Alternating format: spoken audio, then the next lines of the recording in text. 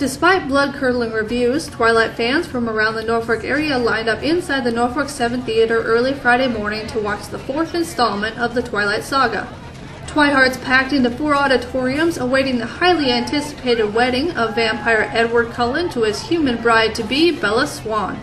Fans of the series have patiently waited through the slow tease of the previous three movies to witness one of their favorite characters take the long walk down the aisle. My favorite part is the wedding scene. I'd have to say it's the most romantic in the book, so it's I'm excited to see how they're going to present it in the movie. The midnight premiere allowed Twihards the chance to be the first to see the wedding of the century.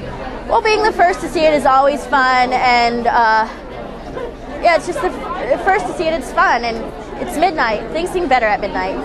Dalton Davis of the Neligh area was one of the few male Twihards in attendance, but expressed that in his opinion, Twilight has something for everyone. It has something for everything. It has romance, it has a deep story, and it has a lot of action. So it's really uh, kind of seeing that guys can like Twilight just as much as girls can.